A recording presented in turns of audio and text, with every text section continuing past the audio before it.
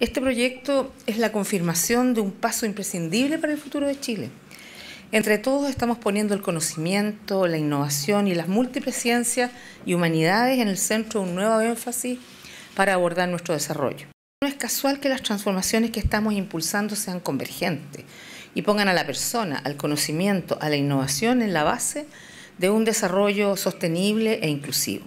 El proyecto que proponemos cuida que el funcionamiento del Ministerio sea transparente y responda siempre a la diversidad de las miradas y de los intereses que conviven en Chile.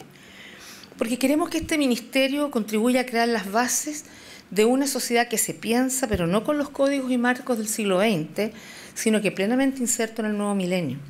Y es por eso que hemos buscado el equilibrio entre las diversas perspectivas que hay en la tarea de pensar y construir el mañana.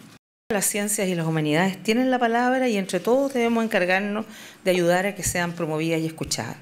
Esto es mucho más que abrir nuevas oficinas, porque para que haya desarrollo científico, tecnológico e innovación, requerimos de mejores condiciones, de mucha coordinación y un entorno adecuado.